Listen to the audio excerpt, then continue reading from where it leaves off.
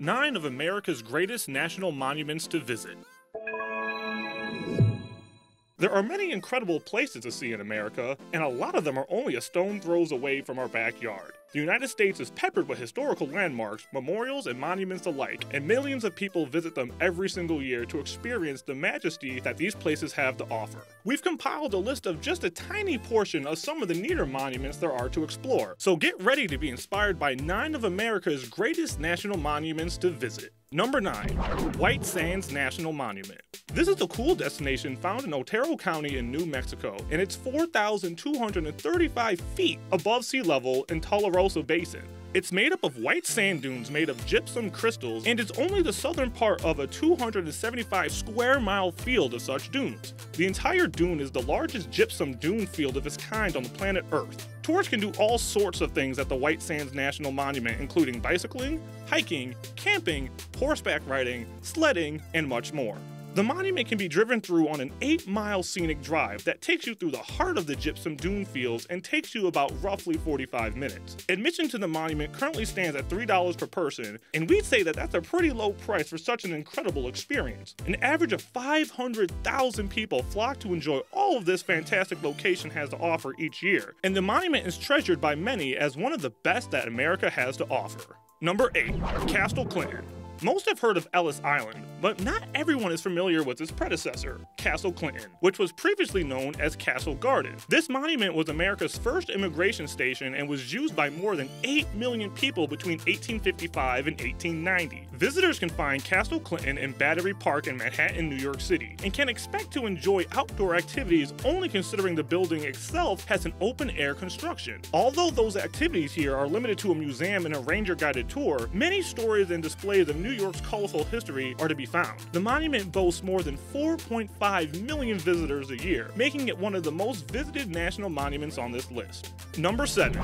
Fort McHenry National Monument. This monument is chock full of history and led to the development of the national anthem. Fort McHenry is a historical American coastal Pentagon bastion fort located in Baltimore, Maryland, built in 1798 and was actively used through both world wars. It's most well known for its role played in the War of 1812 when the British Navy attacked Baltimore Harbor from the Chesapeake Bay and Fort McHenry successfully defended it. The sight of a large garrison flag signaling victory in the Battle of Baltimore inspired Francis Scott Key to pen the poem called Defense of Fort McHenry. The poem was later sung to the tune To Anacreon in Heaven and became the Star Spangled Banner, the United States national anthem. Tourists can check out the Visitor Center, museums, the Junior Officers' Quarters, and the barracks, which all include several smaller exhibits within themselves. Visitors can also help a ranger change the flag at the fort, take tours either guided or self guided, and kids can participate in the Junior Ranger program to help them explore and learn about the fort and earn a Junior Ranger badge and certificate. Downtown Baltimore is only a 10 to 15 minute drive away, so the location of this monument is ideal. There's a lot of fun things to do for the entire family at Fort McHenry National Monument, which is probably why it's been voted as one of America's top monuments to visit. Number 6.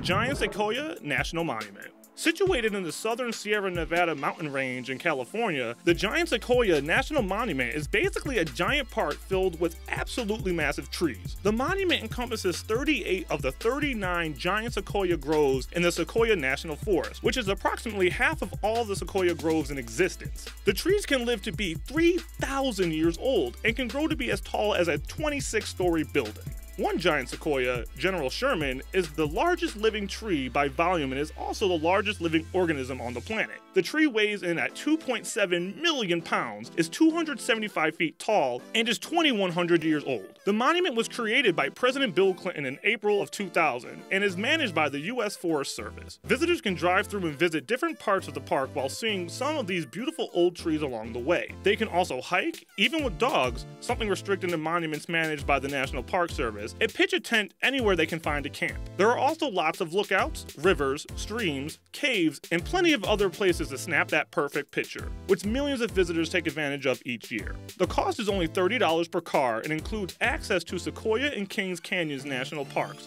which we say is highly worth it. Number 5. John Day Fossil Beds National Monument. If you're like us, you've probably never heard of this monument, but we're guessing after hearing a little bit about it, you may want to take a short trip out to Oregon to visit it. Like we said, this monument is located in east central Oregon, in Wheeler and Grant counties, inside of John Day River Basin. Here, visitors find well preserved layers of fossil mammals and plants that redesigned the area between 5 and 45 million years ago. People come from all over the world to hike, camp, fish, mountain bike, and even raft here, all while taking in the incredible scenery that this area has to offer. There are also lots of ranger guided activities for learning about the geology and history of the monument held throughout the summer. The Thomas Condon Paleontology Center provides plenty of indoor activities for the entire family, including an 18 minute park film, a fossil gallery containing hundreds of fossils, a fossil laboratory, and a junior ranger room for the kids. Sounds like the perfect place to have a relaxing day while enjoying some of the mesmerizing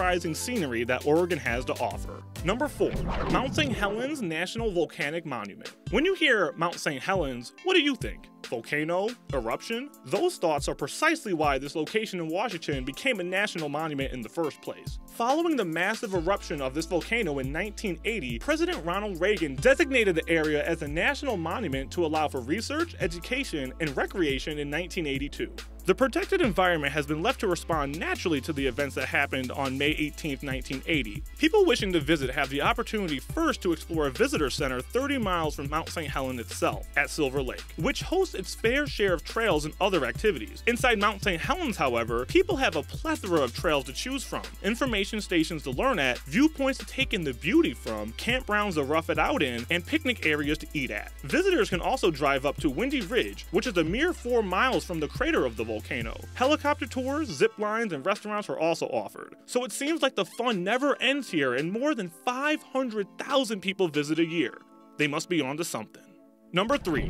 Devil's Tower Located in the Bear Lodge Mountains in Crook County in northwestern Wyoming sits Devil's Tower. It's a laccolithic butte that rises 867 feet from the summit to the base. The giant monument stands above the Belle Fourche River and was declared a U.S. National Monument in September of 1906 by President Theodore Roosevelt. It received its name by an expedition led by Colonel Richard Irving Dodge in 1875 when his interpreter heard and misinterpreted a native name for the megastructure as Bad God's Tower. Visitors can view the monument from afar, take a guided tour, or if they're adventurous, climb the dang thing. The park is open 24 hours a day, and many choose to view the tower at night. And the park even began offering astronomy programs in the fall of 2017. Devil's Tower has been featured in documentaries, books, and movies alike, and was the location in Close Encounters of the Third Kind where humans made contact with aliens. Number 2.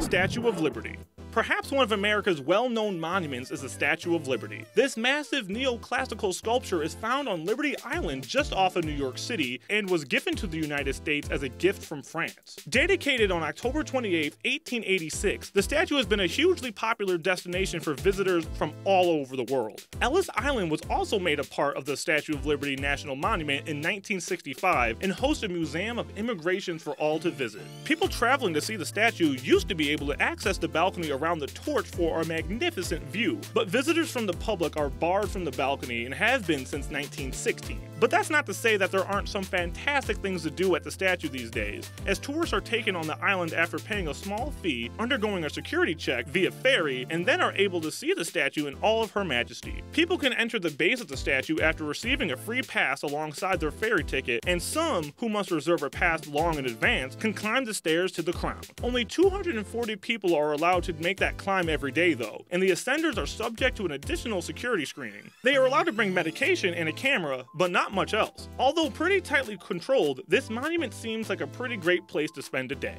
Number 1. Jefferson National Expansion Memorial. This park, located in St. Louis, Missouri, was designated on December 21, 1935, and incorporates the old courthouse, Gateway Arch, and will in the future incorporate a brand new museum.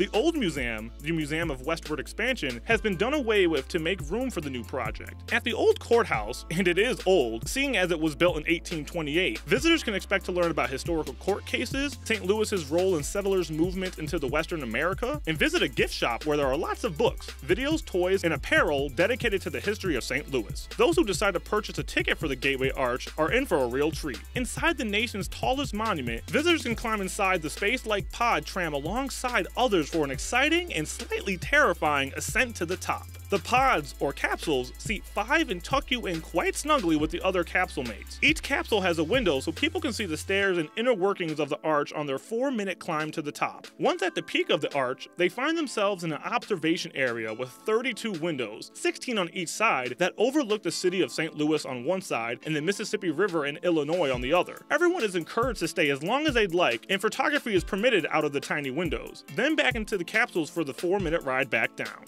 While these monuments don't even come close to covering all of the great places that this country has to offer, from the interesting to the incredible, we hope that you enjoyed our list of 9 of America's greatest monuments to visit. And if you want to see more lists just like this, be sure to like and subscribe for more content.